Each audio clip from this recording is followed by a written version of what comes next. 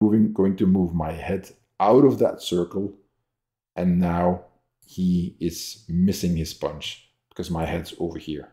So I moved out of the way and I did that by first I was in a vertical position and then I lean over to the side to make sure that I evade the incoming punch.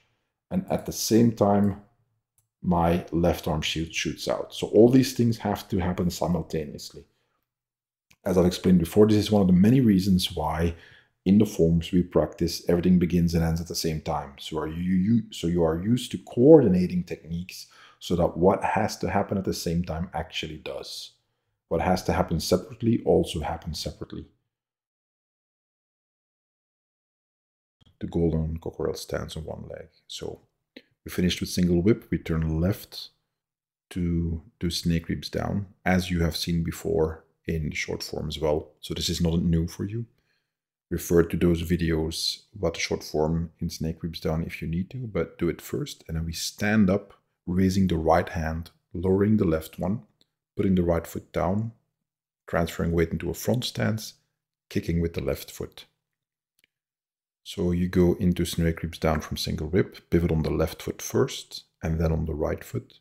Do the three arm movements. Then you transfer the weight back. And then you can make more rapid progress than simply ignoring all those things and trying to do what you've been doing before, but just do it slow.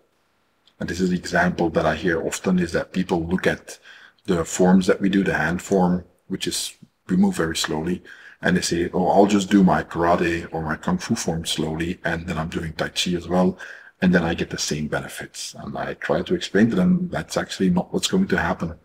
And that has to do with many, many components that you are missing in the way that you practice. It's not just the speed of the movement. There's a lot more going on than that. So again, that would be my advice. Think about